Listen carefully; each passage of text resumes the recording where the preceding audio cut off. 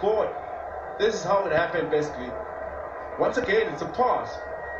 He's ahead of everybody. In fact, he just doesn't get the side foot and misses it for the same time after, after it hits the upright. Take a look at this comedy of errors. And first, the defensive error. Here, surely he should be fin- finishing it. Misses it. Okay. Misses it again. Oh no! It's like a two left feet there. two men of the gang. Yeah. Unbelievable.